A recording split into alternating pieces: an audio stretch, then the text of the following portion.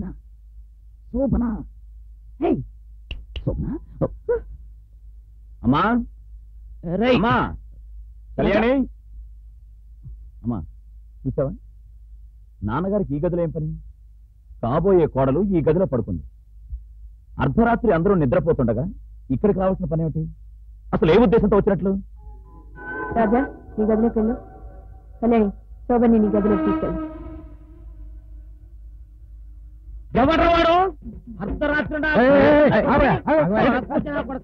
శోభన, శోభనను కట్టి లేపి మానభంగం చేయడానికి ప్రయత్నించింది ఎవడ్రా? పోరా చెంచనా కొడకా.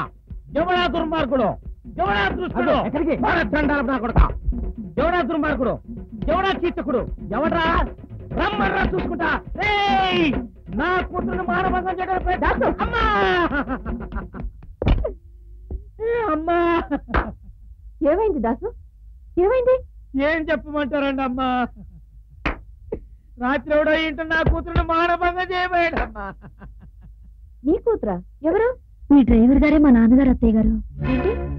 శోభన నీ కూతురా? ఇంతవరకు చెప్పలేదే? ఎలా చెప్పమంటారండి అమ్మా నా కడుపు తెచ్చుకుంటే నా కూతురు కడుపు వచ్చి ఉండేది. అయ్యగారి గురించి తమరి కంటే నాకే బాగా తెలుసండి అమ్మా. ఎంత అందమైన కూతురు. ఎంత చక్కటి పర్సనాలిటీ ఉన్న కూతురు. బంగారం లాంటి ఒళ్ళున్న కూతురు. ఎంత పొడవైన కూతురు. పెద్ద పెద్ద కళ్ళున్న కూతురు. చిన్ని చిన్ని పళ్ళున్న కూతురు.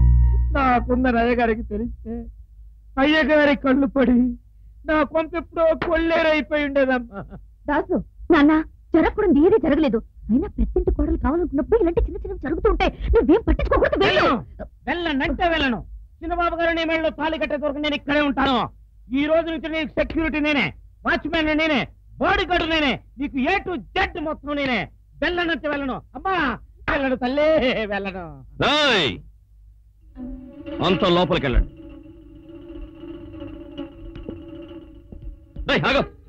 నువ్వు పైకి రారా. ఆ.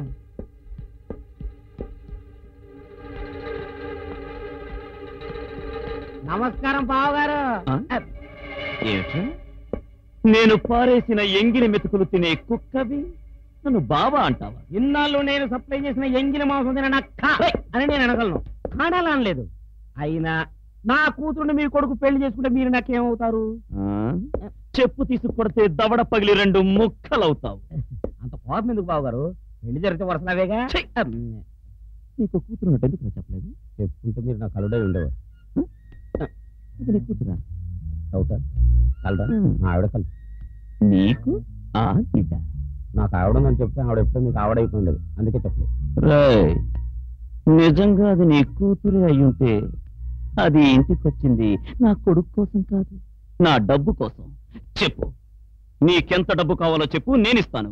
కానీ తెల్లారేసరికి నువ్వు నీ కూతురు నాకు కనిపించకుండా వెళ్ళిపోవాలి. అది నేను బ్రతికుండగా జరగదు. ఈ ఇంటి నుంచి బయటికి వెళ్ళడం అంటూ జరిగితే మీ ఇద్దరం పెళ్ళి చేసుకుని వెళ్తాం.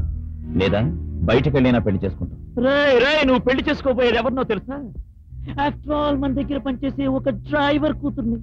మన స్టేటస్ ఏమిటి? వాడి స్టేటస్ ఏమిటా? ఓహో పెళ్ళి చేసుకోవడానికి మాత్రమే స్టేటస్ అడ్డొస్తుందా? మిగతా వాటికి రాదా? ఆహా ఏం చెప్పారు అల్లుడు గారు? కాదు బావగారు. బావగారు. ఒక్కసారి వెనక్కి తిరుగుతారా? అమ్మో తిరగను. ఆహా వెనక్కి తిరిగితే మీరు వదిలిపెడతారా? వదిలిపెట్టను. అమ్మో!